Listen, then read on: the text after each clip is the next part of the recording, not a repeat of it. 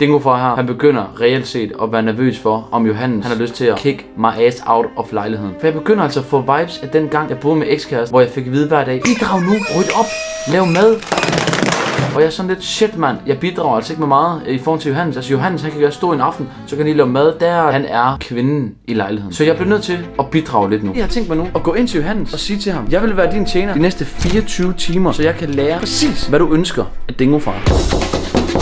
Kamera.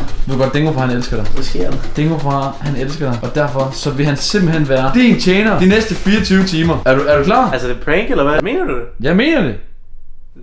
Yes, let's go, man. Du skal fortælle mig, hvad du vil have. Altså, jeg vil gøre alt. Du er lige vågnet, og hvad hedder det? Og jeg ved, du elsker kaffe. Så jeg tænkte, skal jeg ikke bare lade brygge noget kaffe til dig?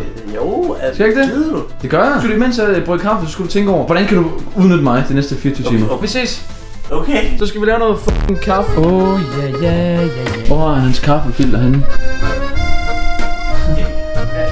Er i at have en assistent, hvis du ikke kan finde kaffe? Jeg kan jo Det godt, jeg kan jo godt finde kaffefilter. Altså, det er jo en helt ny pakke, der ikke er, der er Jamen, det er uåbnet. der, det ligger. Der er munden, Ah.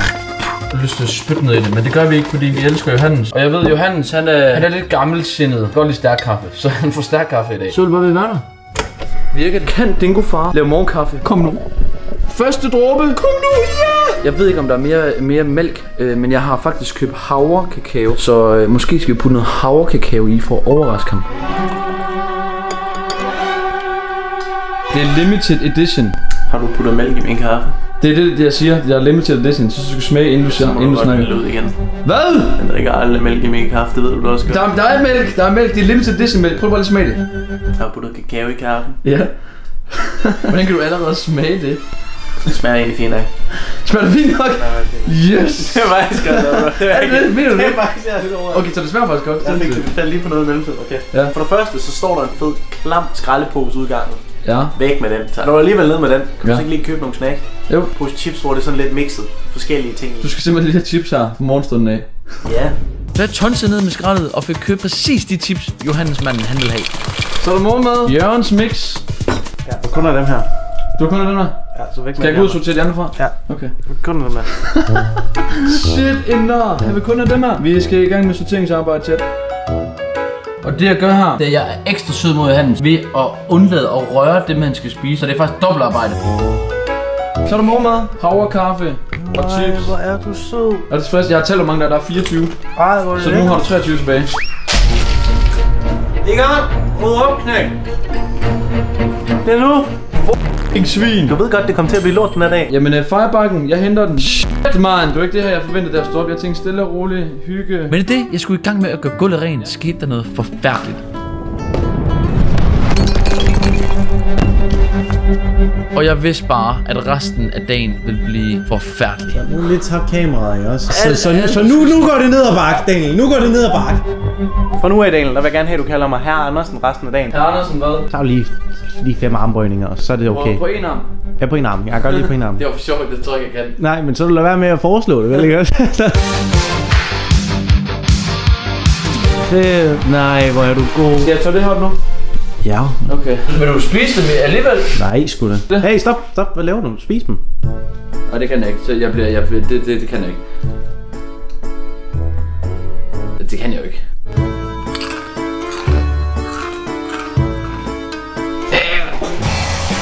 Hele værelset. Fuck, hvor lækker, så bliver det bare støvsuget. Det jeg kan godt lide den her videoidé.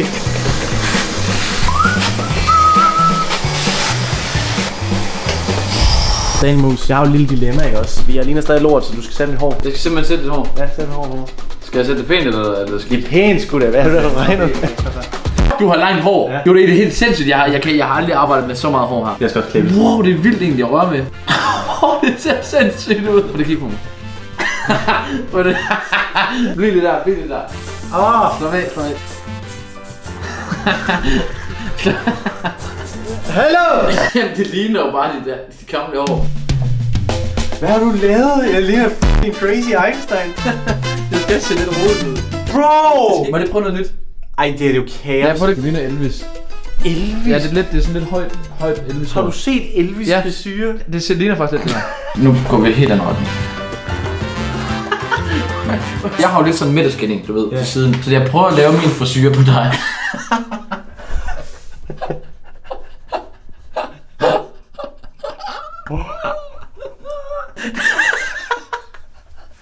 Så du ligger der. Det er dig, der er min assistent, og så har jeg sådan noget. Altså, jeg føler, mit hår er ved at falde af, fordi det er sådan så, så, så indspundet i hårlak. Altså, Wow, du er faktisk fisk nu.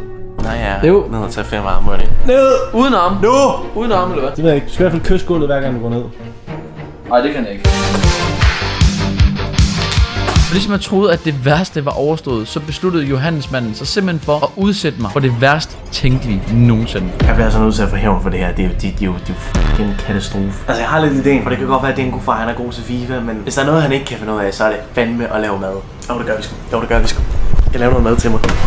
Remus! Hvad nu, mand? Klar til at lave noget mad til mig? Åh, Altså, jeg ved godt, det ikke er din specialitet. Gud, Jesus, Allah. Hvad, hvad ellers man skal bede til? Ja tak, lad os gøre det. Altså, umuligt, det bliver godt. Det er også fint nok, hvis det ikke bliver godt, men altså bare prøv at, at se, om du kan lave et eller ikke Okay, så du lover, du heller ikke på mig, hvis det bliver dårligt? også? Jeg ved jo godt, du ikke kan, men det, Okay. det, det er fint. Ja. Men det Johannesmanden, han ikke vidste, det var, at Dingofar, han havde forberedt sig.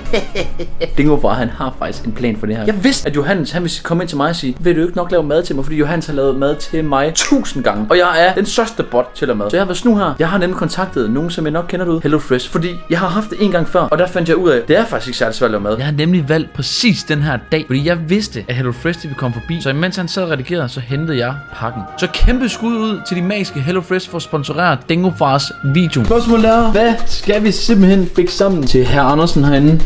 Det der er lækkert her, at de tager alle sammen ikke særlig lang tid. 20-30 minutter. Det er jo ingenting, bror man. 20-30 minutter. 35-45. Jeg tror, Johannes han vil blive stolt, hvis jeg tager en af dem, der tager lidt længere tid. Så den her, hvor han får et helt gourmet måltid, som også er nemt. Der er seks billeder. Det kan vi lige håndtere. Vi kan se her. Den har bogstavet A, og så kan vi gå ind i køleren. Har vi A'eren. Jeg skal simpelthen ikke ned og handle. Det er så smart. Det går Johannes. Her Andersen tror jeg ikke, det er bare han er sej. Han kan bruge mig som slave. eller? Her er der til måltid, så mangler vi selvfølgelig lige køden. Kyllingen er allerede marineret. Fuck, hvor lækkert, bror, mand. Skal vi både sådan her. Din Åh, oh, det skulle ske, søs. Åh, oh, hvis det skulle ske for nogen der, så skulle det ske for Dingo. Har vi ikke et plaster eller noget? Jeg laver en hjemmelavet en her. Vi er back on track. Vi kører videre. nu skal vi citronen i både. Åh, oh, jeg ramte med fingeren ind i det sviger. Fordel kartofler på en bageplade med bagepapir. Dryp med en smule olivenolie og citronsaft. Krydder med et nip salt og peber og vend sammen. Og så bag ovnen i 20-25 minutter. Bum, og så presser vi en her. Så bland agurk, yoghurt og hvidløgn og krydder med salt og peber. Ah, det er godt, det er sat. Her har vi simpelthen salaten. De 25 minutter er gået. Åh, oh, hvor ser de crisp lækre ud, bror, mand. Middelhøj varme. Bum, så får den bare lige hurtigt to minutter her. Her, to minutter. Vender vi. Skal ikke tørstege det, fordi det skal jo ind i ovnen, når det bliver færdigt. Så er gourmetkyllingen færdig, og jeg har selv lige puttet lidt citron på, som I kan se. Her, vi skal anrette det pænt stykke citron her. Så jeg ved jo, Hans han elsker tzatziki, ligesom jeg gør. Så det får han en masse af. Det kan godt være, at jeg kan lave mad til mange gange, men jeg har set, hvad han godt kan lide. Så jeg har virkelig, jeg har virkelig prøvet. Bum. Er det ikke en flot tallerken? Overvej, det er Dingo far, der har lavet det her. Hvis jeg kan lave Hello Fresh, så kan alle mennesker lave Hello Fresh. Jo, jo, jo! Så er der mad. What the f... Og det er ikke bestilt, det er Dingo far, der helt selv har kreeret. Ej, gør har du det hyret en kok, eller hvad? Ja, man skulle, man skulle næsten tro det. Det ser sgu da f***ing godt ud, det her. Synes du? Ja. Det er ikke en glem til, synes jeg. Bro, hvordan fuck har du lavet det her? Er det godt? Jamen, forstår du ikke? Du smager sgu da pissegodt. Oh. Skud til Hello Fresh. De har hjulpet Dingo far endnu en gang. Har du fået Hello Fresh? Endnu en gang har Hello Fresh hjulpet Dingo far. Kan du huske, at vi havde dem i gamle dage? Så skulle da være, at du rent faktisk skal begynde at lave mad. Jeg kan lave mad nu. Velbekomme. Skal vi ikke spise sammen, eller hvad laver du? Skal vi spise sammen? Jeg gjorde det sgu. Johannes manden, han elskede maden. Og hvis du også vil have Hello Fresh, så har jeg et legendarisk link i beskrivelsen, hvor du kan få rabat på dine første fire måltidskasser. Som I kan se, så er jeg virkelig ved at være træt. Den er, jeg tror, den er 1 om natten eller sådan noget lige nu. Jeg tror faktisk, Johannes han er gået i seng. Men jeg, jeg kom lige til at tænke på, det kunne måske være lidt sjovt at gå og spørge ham, om jeg ikke skal putte ham. Fordi vi skal jo klare den her dag til perfektion. Herr Andersen, er du gået i seng? Men det må du ikke. Jeg kom til at tænke på noget. Ja. Dengang jeg var lille, der blev jeg puttet. Jeg er jo din tjener, så, så skal jeg ikke putte dig. Okay. Skal jeg putte dig? Okay, sure.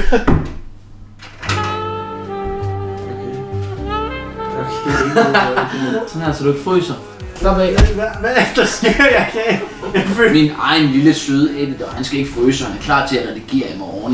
En lille skat. Så er Johannes pakket godt ind. Kan du så godt? Hvor skal du hen? Jeg skal se, hvor hvor skal Du du kan hen? godt lige... Kom her. Gravity couldn't